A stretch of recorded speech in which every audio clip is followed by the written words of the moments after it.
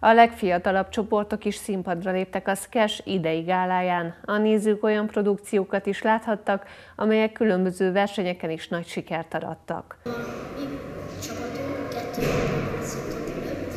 a tavalyi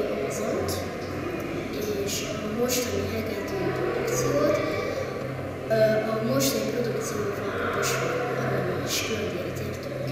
értünk el. A skesses táncosok már hetek óta készültek arra, hogy minél látványosabb koreográfiákat mutassanak be a HSMK-ban. Igazából ugye látványtánc a, a fő profilunk, tehát nagyon sokféle látványos elemmel készültünk a, a mai nap, de a kezdőcsoportok is fellépnek, az ovisok az is, és az iskolás csoportok is. Az előadásokon 18 különböző színpadi előadást láthatott a közönség.